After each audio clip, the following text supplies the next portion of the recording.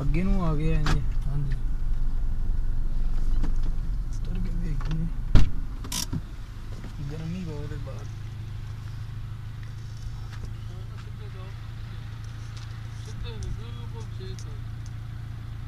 ਹਾਂਜੀ। ਉਹਦੇ ਫਿਰ ਆ ਕੇ ਚਲੇ ਹੋਏ ਨੇ ਪੈਰ ਨੂੰ ਬਰਫ ਦੇ ਨਿਸ਼ਾਨ ਆਪ ਦੇ।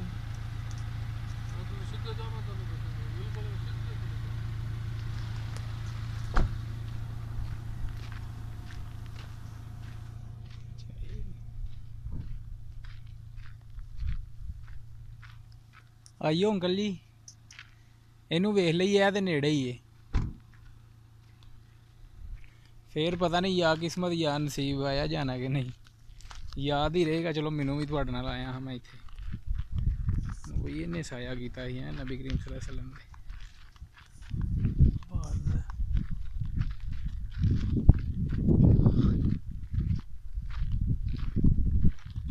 ਕਦਮਾਂ ਦੇ ਨਿਸ਼ਾਨ ਵੀ ਨੇ ਉਹ ਕਹਿੰਦਾ ਇੱਥੇ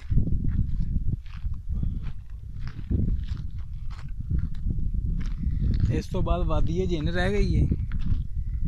ਫੇਰ ਆਪਣਾ ਜਿਹੜਾ ਉਹਨੂੰ ਪੁੱਛਨੇ ਆ ਕੀ ਆਂਦਾ।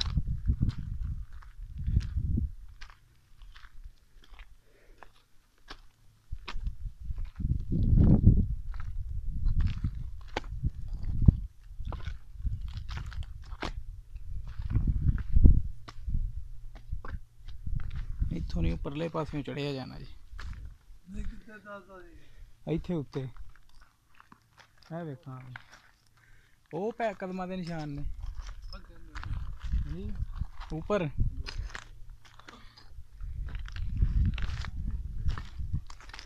ਇੱਥੋਂ ਨਹੀਂ ਚੜਿਆ ਜਾਣਾ।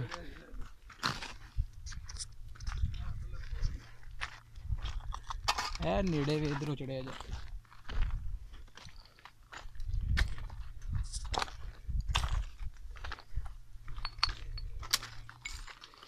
ਧਿਆਨ ਨਾਲ ਅੰਕਲ ਜੀ ਚੜਿਆ ਇਧਰ।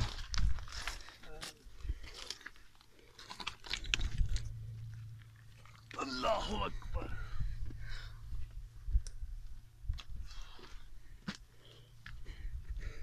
ਲੋ ਇਹ ਪਹਾੜ ਨੇ। ਸਾਇਆ ਕੀਤਾ ਸੀ ਨਬੀ ਕਰੀਮ ਸੱਲੱਲਾਹੁ ਅਲੈਹਿ ਵਸੱਲਮ ਦੇ ਉਹ ਅੱਗੇ ਨੇ। ਹਾਂਜੀ। ਉਹ ਹਾਂਜੀ। ਆਪ ਦੇ ਕਦਮਾਂ ਦੇ ਨਿਸ਼ਾਨ ਨੇ। ਨਬੀ ਕਰੀਮ ਵਸੱਲਮ ਦੇ। ਇਹ ਕਿੱਥੇ ਨਿਸ਼ਾਨ ਉਹ ਸਾਹਮਣੇ।